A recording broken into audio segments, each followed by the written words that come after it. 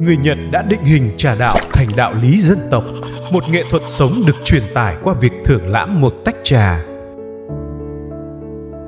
Người Nhật đã làm được, người Việt mình cũng làm được và làm tốt hơn.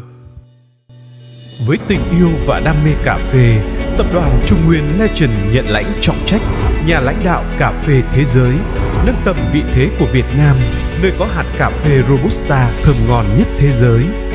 Để chuẩn bị cho sứ mạng lớn lao này, tập đoàn Trung Nguyên Legend đã tâm huyết nghiên cứu về cà phê và ảnh hưởng của cà phê trong mọi lĩnh vực của đời sống nhân loại.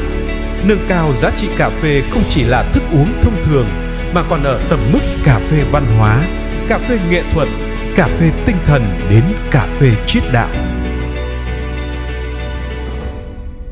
Trong chuỗi phim ngắn Cà phê triết đạo, người xem sẽ nhìn nhận đầy đủ và chính xác tinh thần cà phê trong tiến trình phát triển của lịch sử nhân loại từ việc tổng kết lại quá khứ, quán xét hiện tại và kiến tạo tương lai.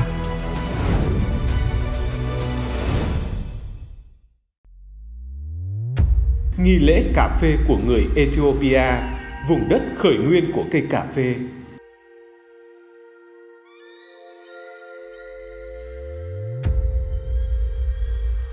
nằm ở đông bắc châu Phi, vùng Ethiopia với tên gốc là Abyssinia, là nước độc lập cổ xưa nhất. Đây cũng là nơi phát tích cây cà phê Arabica trong những thung lũng hoang vắng đất đỏ của núi lửa và sương mù ở độ cao hàng ngàn thước trên mặt biển.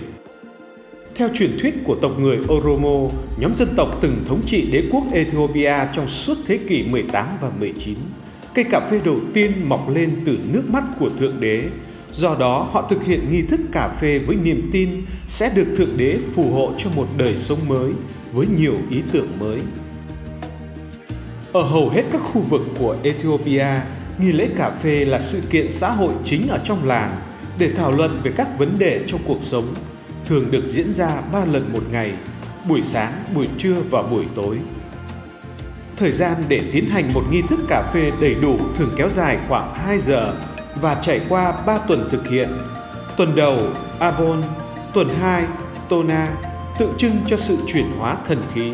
Tuần 3 Baraka có nghĩa là sự ban phước, chúc phúc cho tất cả. Để bắt đầu thực hiện nghi thức, người nữ chủ giải thảo mộc, hoa tươi và đốt hương trầm để thanh tẩy bầu không khí và xua đuổi tà ma. Nước sạch được đong vào ấm đất hoặc gốm đen rồi đặt lên than hồng. Cùng lúc này, Hạt cà phê tươi được rang chậm trong chảo gang với lửa đều và đảo luôn tay để dầu thơm tiết ra nhưng không bị cháy đen. Sau khi rang xong, cà phê được giã nhuyễn thành bột và cho vào bình để tiếp tục đun. Đến lúc chiết xuất vừa đúng độ thì sẵn sàng rót ra để mời khách. Ưu tiên mời những người lớn tuổi thưởng thức trước. Trước khi thưởng thức, tất cả cùng nhau cầu nguyện.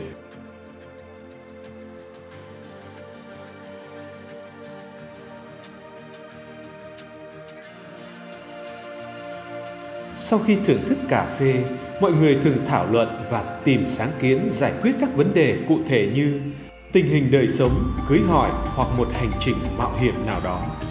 Nghi lễ cà phê không chỉ là một hình thức văn hóa trong đời sống của người Ethiopia mà còn là biểu hiện của tình bạn, sự tôn trọng và lòng hiếu khách. Cùng với những hạt cà phê tuyệt hảo nhất từ cường quốc cà phê Việt Nam, Ethiopia, các chuyên gia cà phê số 1 Trung Nguyên Legend còn tuyển chọn những hạt cà phê hảo hạng nhất từ các vùng nguyên liệu nổi tiếng nhất thế giới như Colombia, Jamaica, Brazil.